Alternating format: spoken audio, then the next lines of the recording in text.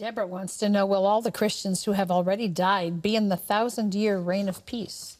Well, you know, they lived and reigned for a thousand years. I mean, that's kind of a, a lot of those numbers in the Bible are just expressions of a long period of time. But of course, at the resurrection, when Jesus comes back to earth again, we will live and reign with him forever and ever and ever. That's what you have. So the people have died, people who are alive, and those who, who uh, uh, dead will not, uh, those who are alive will not go ahead of those who uh, died. They will all go to be with him in a new kingdom and a new heaven and a new earth. All right.